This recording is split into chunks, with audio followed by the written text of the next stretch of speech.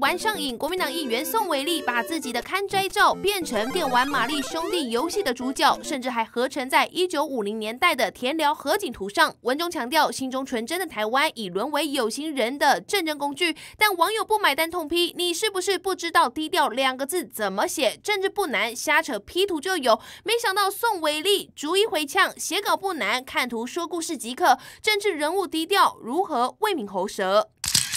宋伟立不止呛网友，还扬言要提告，但自己却在脸书转发宋行市长谢国良哭诉梗图，马上遭酸。不是要提告吗？蓝能你不能。现在救灾最重要，我现在在救灾。宋伟立也在脸书抛出，我没有看到，完全没看那一则，不好意思。敏感话题，谢国良不愿多说，只是下礼拜就要罢免投票，却遇上自家人扯后腿，让蓝营不能接受。网友要做梗图哭手一下，当然没有问题。但有些过分的移花接木，甚至已经到了人身攻击的地步。